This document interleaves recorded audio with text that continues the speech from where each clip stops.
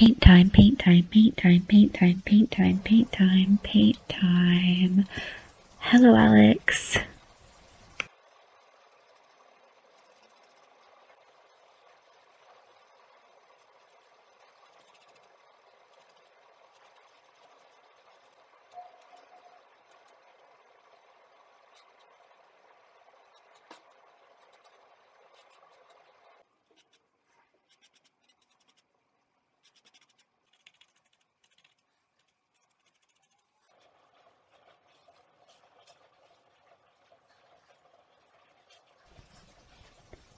So last week you asked me what this painting was after I put it in my other Manu video, and I didn't tell you because I figured I would basically just show you. I decided I wanted to do a portrait of a dog who means a lot to me and my family, and who hasn't been doing so great as of late. But I love him so much, and so many of my family members love him a lot too.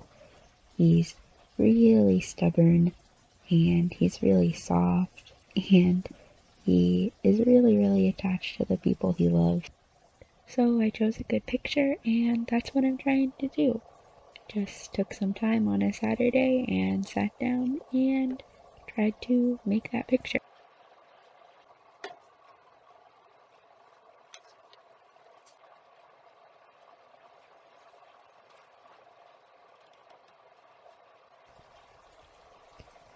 So I really like painting.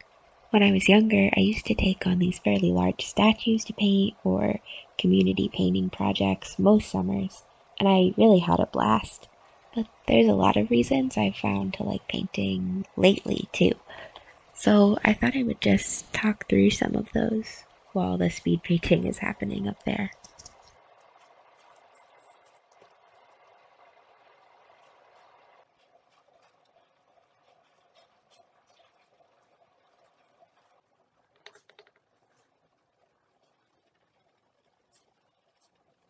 I've always liked how colorful painting is and can be. I especially like mixing my own colors. I like thinking about how things will combine and how to tweak a color so I get a really particular shade, especially from a picture when I'm trying to recreate one. I feel like I'm mixing potions except without the stress of imminent explosions all the time. I like that painting is messy. I had to change shirts twice while I was painting this because I kept getting paint on them but like it comes out. I've got it out of my hair. I'm pretty good at it. I've also liked how painting can be a group activity. Like when I was younger, my younger brother used to sit with me while I painted, and he'd chat to me and just get paint everywhere and make a mess, and I do miss that. I listened to a lot of old episodes of The Adventure Zone while I was making this painting because that's the kind of chatty, silly, not too deep background noise that I've uh, really needed lately. I feel like I can play to my strengths when I'm doing paintings from pictures or real life too. I know some people can paint from imagination, but for me, one of my favorite parts is kind of figuring out that I can recreate something I really like looking at. Some perspective or a color palette or a scene or some object or creature that made me feel something cool. I like building up pieces and layers into some kind of whole that gives me those kinds of feelings. I feel like this kind of painting really rewards dwelling on the details, which is kind of my specialty. Lately, too, I am grateful that painting makes me sit with something for a while. You pretty much have to stay in one place, this time for several hours, and slowing down like that has been really helpful.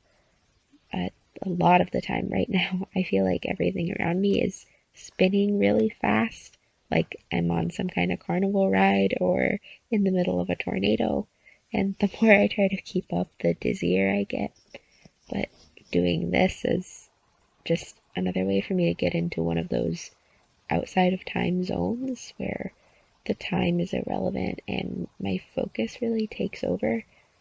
I don't have to think about what's going on around me. I can just lean into being patient. And while I'm painting, I just, I feel like I can take as long as I need to.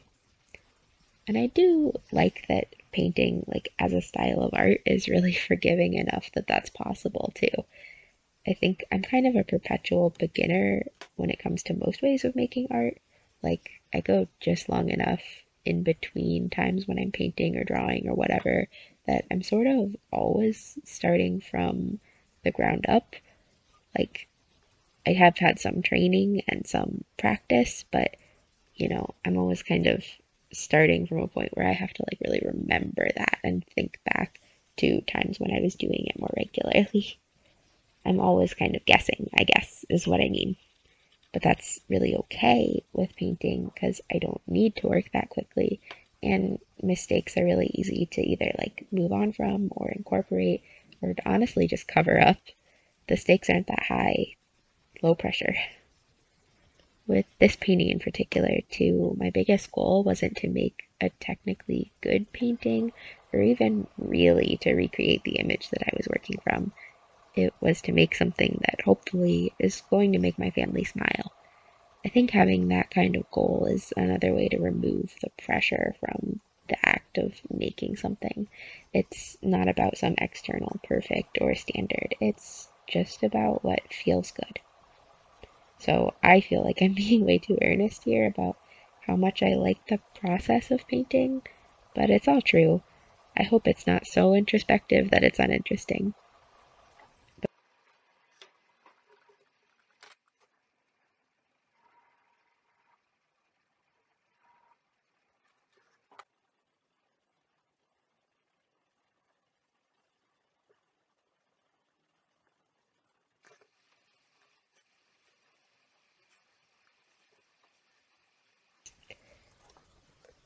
But even if the journey is more important than the destination and all that wishy washy, hippy dippy kind of stuff, I do want to show you how the final painting came out in the end. Here's the picture and my version of it. I like how it turned out. Talk to you soon, Alex. I hope you're having a good holiday. Stay warm.